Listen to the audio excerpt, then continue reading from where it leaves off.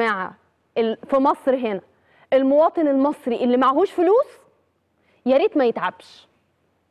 لأن بجد المواطن المصري الغلبان لو تعب هيموت. أو اعمل جمعية كده أو أمن على نفسك علشان أول ما تتعب تلاقي الجمعية دي تدخل بيها مستشفى خاصة محترمة تدخل تقدر تكشف. ده اللي أنا بقوله. بس. أو اشتري مستلزماتك وانت داخل. خزن دلوقتي برضو القطن والجوانتيات وال... وال... والدم واعمل تلاجة كده عندك في البيت قبل ما ما اسعار الدولار تعلى برضو عشان تبقى ضامن نفسك تبقى في السيف سايد لأن للأسف إحنا ما عندناش حد في مصر بيتحاسب لما بيقصر. موضوع المستشفيات إحنا فاتحين الملف ده بقالنا كتير جدا. طب فين؟